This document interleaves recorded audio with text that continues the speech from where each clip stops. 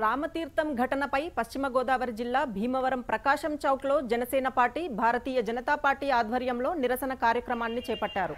ఆలయాలపై జరుగుతున్న దాడుల విషయంలో రాష్ట్ర ప్రభుత్వం ఉదాసీనంగా వ్యవహరిస్తోందని భారతీయ జనతా పార్టీ పాక సత్యనారాయణ ఆగ్రహం వ్యక్తం చేశారు. దాడులను అరికట్టడంలో ప్రభుత్వం విఫలమైందని ఆయన దుయ్యబట్టారు. దేవాదాయ ధర్మాదాయ శాఖ మంత్రి వెల్లంపల్లి శ్రీనివాస్ తక్షణమే రాజీనామా చేయాలని జనసేన నాయకులు కొటికలపూడి గోవిందరావు డిమాండ్ చేశారు.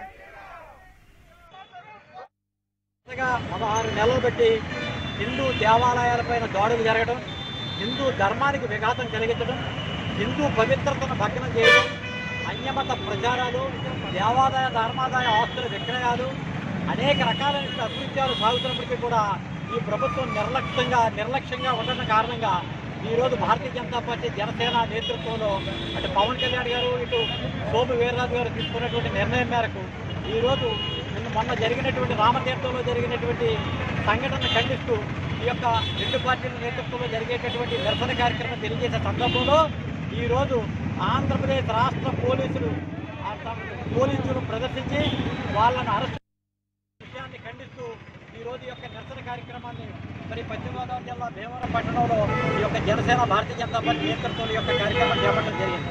జనసేన మరియు బీజేపీ సౌమ్యరాజు గారు ఆధ్వర్యంలో విషయం తెలుసుకోవాలని అక్కడికి వెళ్తే ఈరోజు అత్యుత్సాహం ప్రదర్శించి పోలీసు వీళ్ళని అడ్డుకోవడం జరిగింది. ఏ మొన్న మీరు ఇదే విజయసాయి రెడ్డిని మీరు తాళ్ళు కట్టి మరీ దగ్గరుండి బందోబస్తు తీసుకెళ్ళారు. అప్పుడు ఏమైంది?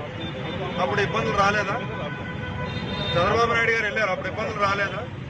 కేవలం ఇది కేవలం కుట్ర పన్ని ఒక మతోన్మాదులో లేకపోతే రాజకీయ గొడవలు తీసుకురావాలని చేసే వాళ్ళని పట్టుకోవడం మానేసి మీరు కేవలం మన దాట వేసే ధోరణి. వాళ్ళు చేశారు వీళ్ళు చేశారు అధికారం చేతిలో ఉంది బాగా సత్యనారాయణ చెప్పినట్టు. ఇమీడియట్గా అరెస్ట్ చేయొచ్చు కదా మీరు. రెండు కొడాల నాని గారు అనే వ్యక్తి సింహాచలంలో రథం రథం దగ్గమైనప్పుడు సరిగ్గా మాట్లాడు